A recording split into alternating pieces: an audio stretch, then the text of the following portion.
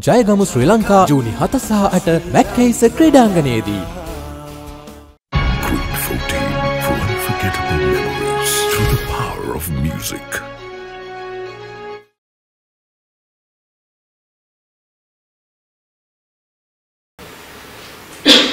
මේ දිනවල ස්වාභාවික විවසනයක් ඇතිලා තියෙනවා රටේ. මැතිවරණයක් ස්වාභාවික විවසනයක් ප්‍රස්තාවාදී ප්‍රහාරයක් වගේ වෙලාවක මැතිවරණේ කල් දාන්නේ කියව තියෙයි. කිසිම විටක මේ මැතිවරණ කල්දාන කතාව හරි භයානක කතාවක් නේ ප්‍රජාතන්ත්‍රවාදයේ මොකද්ද අත්‍යවශ්‍ය ලක්ෂණය නිසි කාලයේ මැතිවරණ පැවැත්වීම. ඉතින් මේ ජනමත ਵਿਚාරණ ගැන කතා කරලා නොඑක් උඩර වැටි නොඑක් වංගු දාලා මැතිවරණ කල්දාන්න පුළුවන් කමක් නැහැ. එහෙනම් මේක ප්‍රජාතන්ත්‍රවාදී රටක් වන්නේ නැහැ. ඉතින් දැන් වන්න මේ කොච්චර ආස වුණත් තනතුරකට ඒ තනතුර හොබවන්න පුළුවන් වන්නේ ජනතාව කැමති නන්නේ. ඒ පුද්ගලයා කැමති නම් නිසා නෙවෙයිනේ කතරම් අසීමිත ආසාවක් මේ තනතුර ගැන තිබුණත් එන ජනතාව කියනවා නම් අපි කැමතියි කියලා. එහෙනම් එහෙම කරන්න පුළුවන්. ජනතාවගේ කැමැත්තට විරුද්ධව මැතිවරණ නොපවත්වා ජනතාවගේ මතය නිදහස් ලෙස ප්‍රකාශ කිරීමට අවකාශ නොදී බලහත්කාරයෙන් බලහත්කාරයෙන් මැතිවරණ පවත්වන්න නැතුව මොන හරි ව්‍යාජ හේතු ඉදිරිපත් කරමින් කෙස් පැලෙන තර්ක ඉදිරිපත් කරමින් ජනමත ਵਿਚාරණ මේ ඔක්කොම කරලා මේක හරි භයානක තත්ත්වයක් නේ. සමාජයේ ස්ථාවර භාවය.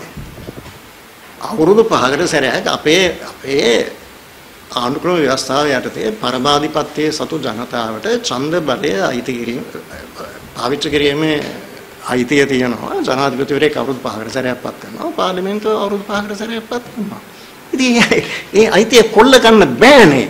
ඒ අයිතිය කොල්ල ගාලා දැන් ඒ තනතුර ඔබවන පුද්ගලයා ආසා නිසා මේක දිගින් දිගට තව තව තව මොනවා හරි වංගු වෙට්ටු ඔක්කොම දාලා මේක කරන්න පුළුවන් දෙයක් ඒකේ ඒකේ ප්‍රතිඵල මොනවද රටට රටේ ස්ථාවර භාවයට මොකද්ද තියෙන ප්‍රතිඵල? ඒවා කිසිම තැකීමක් නැතිව Tamanට ඕනේ නිසා මේ මේ මේ තනතුරට තිබෙන ආසාව නිසා මේවා කරන්න පුළුවන්ද? මේ මේ ජනමත ਵਿਚාරණය පිළිබඳ කතාව නීතිමය වශයෙන් කිසිම පදනමකින් තොරව කතාවක්. දැන් කියනවා පාර්ලිමේන්තුවේ තුනෙන් දෙකක බහුතරයක් ලබාගෙන ඊට පස්සේ ජනාධිපතිවරණයක් පවත්වලා එතකොට 150 ඔව් මේ ජනමත විචාරයන් පවත්වලා ජනතාව අනුමත කරනවා නම් එහෙනම් ජනාධිපතිවරයාගේ නිල කාලය තව දික් කරන්න පුළුවන් කියලා. ඒක කරන්න බෑ. එහෙම කරනවා නම් අනාගතයේ සියලුම ජනාධිපතිවරුන්ගේ නිල කාලය දික් කරන්න ඕනේ. දැන් ඉස්සෙල්ලා ජනාධිපතිවරයෙකුට තිබුණු නිල කාලය අවුරුදු 6යි. ඊට පස්සේ ඒක අවුරුදු 5ට බැස්සුවා. දැන් අපි හිතනවා නම් පාර්ලිමේන්තුව හිතනවා නම් අවුරුදු 5 මදි අවුරුදු 6ක් දෙන්න ඕනේ කියලා ඒක එහෙනම් කේක කළ යුත්තේ අනාගතය සම්බන්ධයෙන් සියලුම ජනාධිපතිවරුන් වෙනුවෙන් එක ජනාධිපතිවරයෙක්ව තෝරලා එතුමාට විතරක් අවුරුදු 6යි අනිත් සියලුම ජනාධිපතිවරුන්ට මීට පස්සේ එන අවුරුදු 5යි ඒක කරන්න අපේ නීතිය යටතේ කිසිම ඉඩක් නැහැ කියලා මම පැහැදිලිව ප්‍රකාශ කරනවා. ඒකට ඒ ඒ ඒ මතය ලොකු රුකුලක් දුන්නා ශිරාණී තිලකවර්ධන විනිශ්චයකාරතුමා ශ්‍රේෂ්ඨාධිකාරී බොහොම ප්‍රසිද්ධ නඩු. එහෙම කරන්න බෑ. විවස්ථානුකූල සදාචාරය කියලා සංකල්පයක් තියෙනවා. Constitutional morality. එහෙම සංකල්පයක් තියෙනවා. එක්කෙනෙකුට අවුරුදු 6යි ඊට පස්සේ එන එක්කෙනාට අවුරුදු 5යි එහෙම කරන්න කිසිේ පුළුවන් කම නැහැ. එහෙනම් හැමෝටම අවුරුදු 6යි කරන්න ඕනේ. මම මේක පැහැදිලිව කියනවා.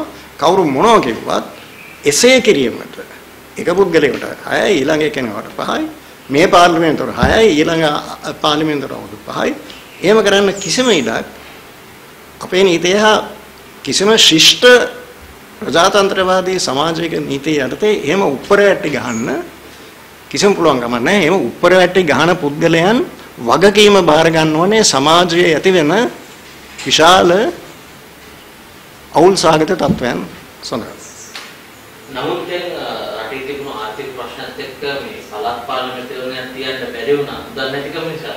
ජනාධිපතිතුමේ වෙලාවෙත් ආර්ථික ප්‍රශ්න සම්බන්ධ නැති වුණොත් මුක් කරන්න බැරි ඔය ඒ ඔක්කොම කියයි කරන්න පුළුවන් හැම දෙයක්ම කරා ඒ ගැන කිසිම සැකයක් තියාගන්න එපා. මේක කැමැත්තෙන් තියන්නේ නැහැ. කැමැත්තකින් තියන්නේ නැහැ. හැබැයි තියන්න වෙනවා. කැමැත්තෙන් හෝ අකමැත්තෙන්. ඒ මොකද විකල්පයක් නැති නිසා. ඉතින් දැන් මේකට මුදල් වෙන් කළා ඉවරයි. මේකට අවශ්‍ය රුපියල් බිලියන 10 වෙන් කළා ඉවරයි. ඒක තියෙනවා. ජනාධිපතිවරයාට කිසිම අයිතියක් නැහැ ප්‍රකාශන කරන්න මේක තියන්නේ කවදාද කියලා. ඒක ජනාධිපතිවරයාගේ කාර්යභාරය නේ. ඒක මැතිවරණ කොමිෂන් සභාවේ කාර්යභාරය. ඒ තියෙන දිනවකව අනුව ශ්‍රී ලංකා ආණ්ඩුක්‍රම ව්‍යවස්ථාවෙන් හා අදාළ නීති වලින් නිර්වචනය වෙනවා. ජනාධිපතිට ඒකට අත තියන්න කිසිම අයිතියක් නැහැ. ඒ ඒ නිත්‍යානුකූල විධිවිධාන වලට අනුකූලව ජනාධිපතිවරණය පැවැත්වීම නිසිකාලයේ පැවැත්වීම හුදෙක් බාරවන්නේ මේ රටේ ස්වාධීන මැතිවරණ කොමිෂන් සභාවට. ඒක කෙරෙනවා. අපේ විශ්වාසය තියෙනවා මැතිවරණ කොමිෂන් සභාව එහෙම බය වෙන්නේ නැහැ. මේ එහෙම ඉස්සෙල්ලා කරා.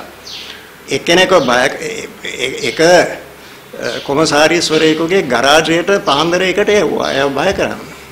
හැබැයි ඒ පුද්ගලයා බය වුණේ නැහැ. තව පුද්ගලයෙක් පොඩි ගණදෙනුවක් කරලා අස් වුණා. ඒ අස් වෙච්ච පුද්ගලයාට ආණ්ඩුකාර පදවියක් දුන්නා. ඒසෙල්ලන් හරියන්නේ නැහැ.